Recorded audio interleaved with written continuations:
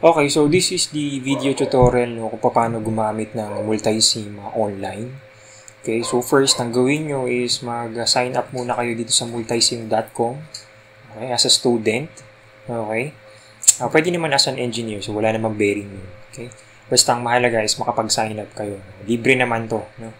So, hindi naman natin kailangan dito ng membership no, para ma-access yung lahat ng uh, tools. Okay. So, after nyo makapag-sign up, okay, uh, makikita nyo dito sa upper right is create a circuit. So, click natin yon Then, pupunta tayo dito sa multisim uh, live. Okay? Ngayon, isipin nyo to parang breadboard to. No? Dito kayo pwedeng mag-build ng uh, kahit anong klaseng circuit. Okay? Dito sa panel sa left, ito yung mga tools na or nandito yung mga electronic devices na mga kailangan yung uh, uh, gamitin.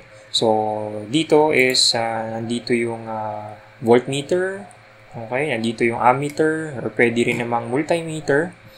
Okay?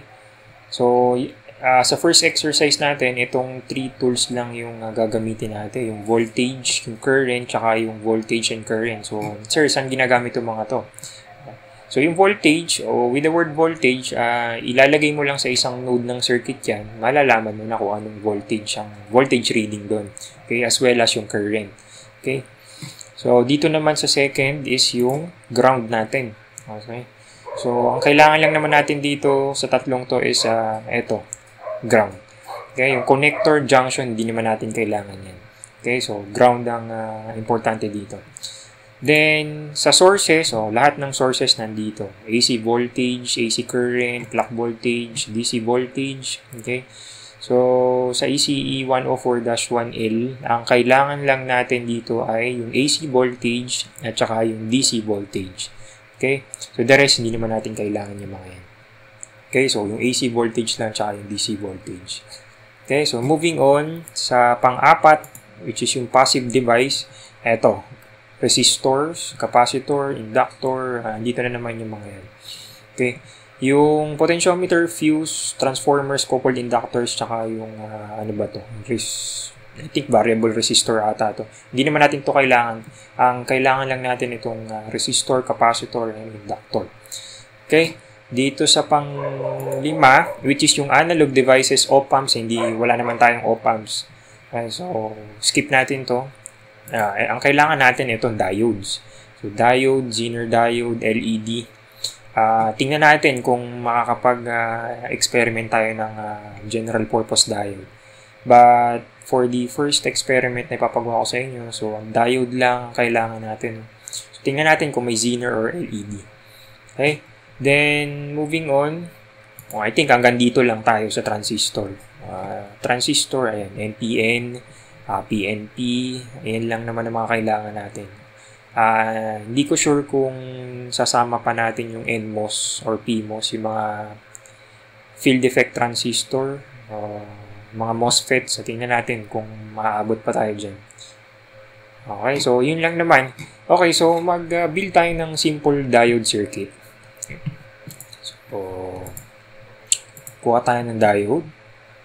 Click natin isang resistor, okay, tapos isang voltage source. Sige, ilagay na natin muna yung ground. Okay, tapos ang voltage source, DC voltage source. So, papakita ko sa inyo kung paano tinatweak yung mga values.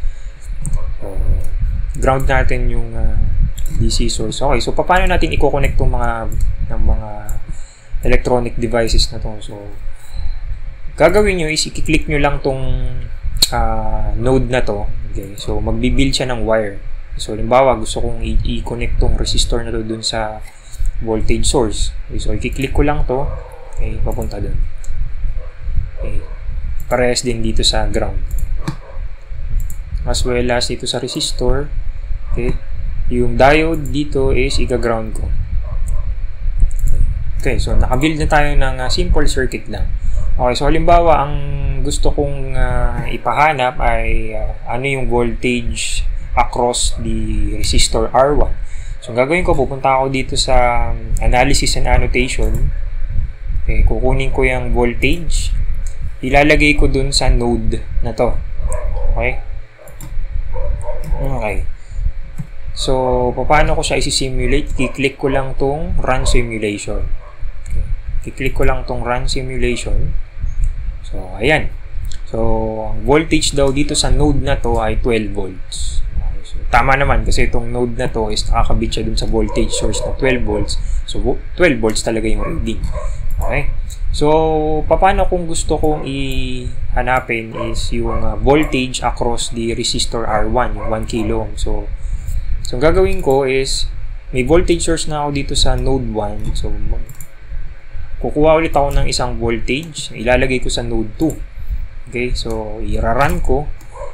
Meron akong reading dun sa voltage uh, dun sa node 1 at voltage reading sa node 2. So, paano ko kukunin yung voltage across the resistor 1 kilo ohm.